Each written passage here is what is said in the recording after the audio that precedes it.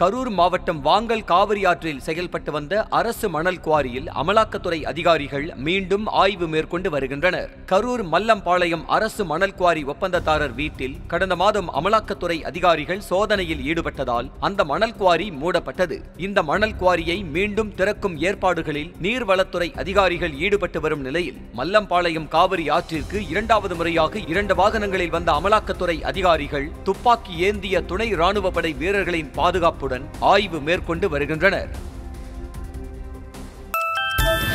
செய்திகள் நூறு நாள்தோறும் காலை ஆறு பத்து மணிக்கு மற்றும் இரவு ஒன்பது மணிக்கு நமது நியூஸ் தமிழ் தொலைக்காட்சியில் காண தவறாதீர்கள்.